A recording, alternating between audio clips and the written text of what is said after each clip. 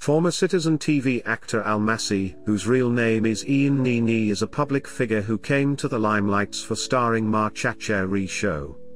Almasi was his stage name in the Ma Chacha show. Almasi was one of the most handsome boys in the show.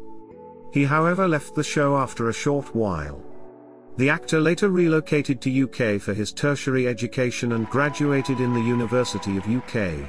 Almasi has always been rumored to be gay from how he dresses to the kind of videos he uploads in his YouTube channel that are considered girlish.